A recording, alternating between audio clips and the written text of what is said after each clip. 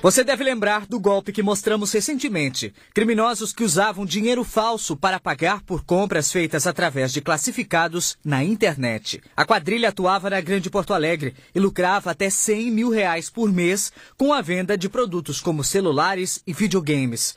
Segundo a polícia, o grupo enganou pelo menos 100 pessoas.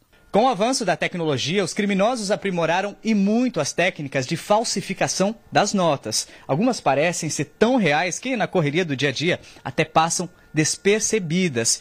Mas todas têm detalhes que podem ser percebidos a olho nu, pelos olhos mais atentos. Nós viemos até o Instituto Geral de Perícias saber quais detalhes são esses. Em primeiro lugar, a gente vai ver a qualidade da impressão, né?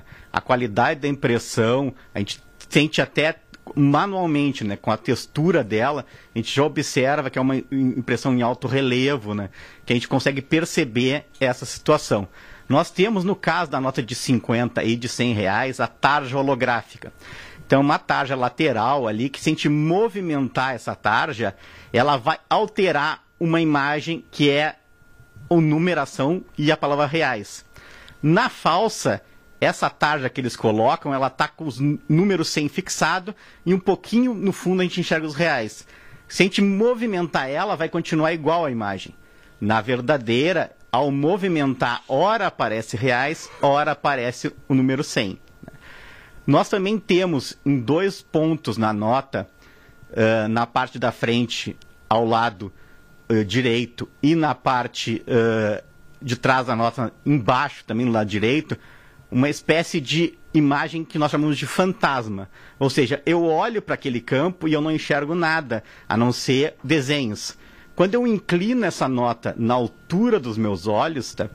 e enxergo ela então perpendicular, né, com uma incidência de luz, eu vou enxergar a numeração, seja aí o número 100, o número 50, o número 20, conforme a nota. Isso, todas as notas têm essa imagem latente. Né? As cédulas verdadeiras também possuem pequenos dispositivos de segurança ocultos, que permitem a visão de acordo com a luz e o ângulo. São detalhes impossíveis de serem copiados. Uma imagem que forma um quebra-cabeça, juntando uma imagem que tem na frente da nota com uma imagem que tem atrás, exatamente na mesma posição.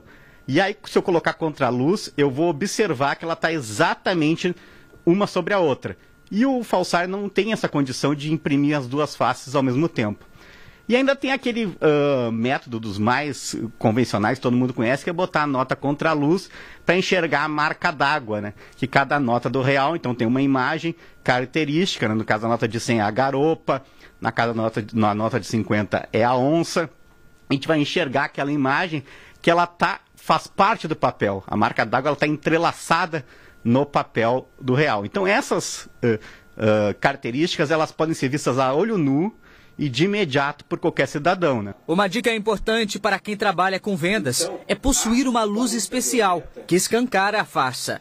O equipamento custa a partir de 30 reais. É a chamada luz negra ultravioleta que se encontra em qualquer ferragem aí que com ela aí a gente vai perceber a diferença gritante entre as notas pela reflexão do ultravioleta. Depois que o golpe é aplicado, a orientação é procurar a polícia e registrar boletim de ocorrência. Foram essas denúncias que, na semana passada, colocaram quatro membros da quadrilha na cadeia. Outros 12 foram identificados e estão sendo investigados.